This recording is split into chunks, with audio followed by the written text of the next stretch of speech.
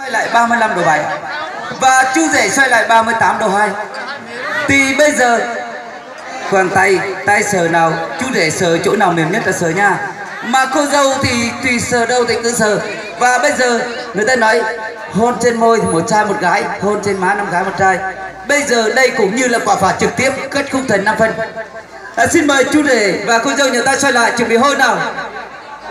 À xin lỗi quý vị đợi tí nha các em nhỏ, xin mời các em nhỏ ở đây nhắm mắt lại tí. Nhắm mắt lại một tí, chưa được phép nhìn. Vâng và quý vị ai có điện thoại samsung đôi quý a hãy bật nắp lại để chứng kiến tình yêu hình nền của họ. Một, hai, ba. Hi nhau đâu là hôn nhau đi. Vâng. Hít to vào. Ơ vâng và xin thưa quý vị. Chú rể xin lọt vào hay không là tùy của chú rể. Bây giờ chuẩn bị nha. Hôn lại nha. Xoay lại xoay lại tin rồi nào. Một, hai vâng rất tuyệt vời. Quý vị quá tuyệt vời vô